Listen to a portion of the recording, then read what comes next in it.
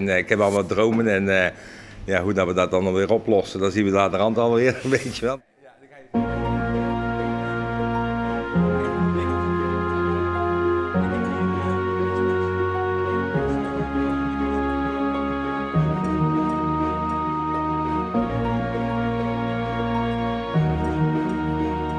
Nou, vanuit het terras komen we dan hier binnen. Nou, hier hebben we onze koffiecorner. Allerlei soorten, ook koude koffie, ijskoffie. Hier zie je onze, onze, onze crepeplaten. Hier zijn we lekkere uh, crepjes gaan- zijn we hier aan het bakken, daarachter de wafels. En dan hier, eh, ja, mijn grote, eh, ja, hoe zeg ik dat? Mijn grote trots, onze acht topijsjes.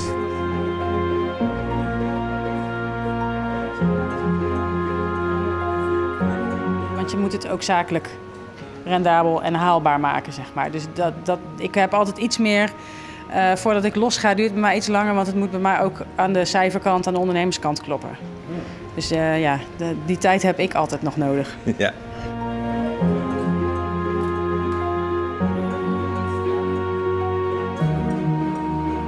Is dit hoe jij wil werken? Gewoon, jij bent de grote creatieve man.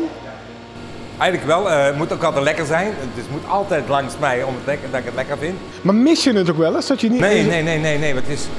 Ja, kijk, over een uur kan ik in de broodbakkerij staan. En vanmiddag geef ik les boven, dus ik mis het niet, nee. nee.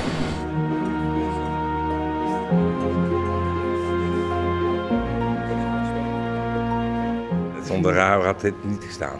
Absoluut niet. Want ik, ben, eh, ik heb al wat dromen en eh, ja, hoe dat we dat dan weer oplossen, dat zien we later aan alweer, weet je wel. Maar ik ben productverantwoordelijk.